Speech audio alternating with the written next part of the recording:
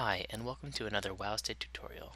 This time we'll be focusing on the new Content Management System, or CMS, and how easy it is to create front page news posts.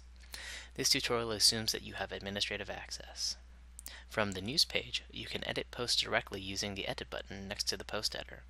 You can also create a new post using the Add a Post link at the top of the page. Alternatively, you can access the CMS via the control panel in the News and Media section. Under the Post Control page, you can create new posts or manage existing ones. In this example, I'll be creating a kill post for Halion, a dragon boss in the Northrend expansion. As you might notice, we were actually a bit tired of killing dragons at the time. As you can see here, it's actually quite easy to upload and insert images into your news posts. You can do so directly from a URL or from your media folder on Wowstead, also controlled by the CMS.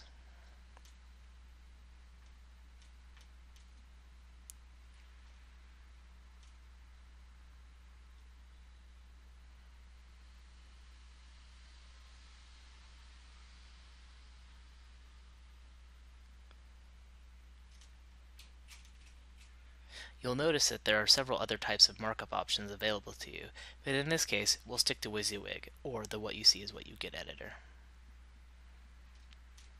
I've tagged my news post with the News tag for future sorting and filtering.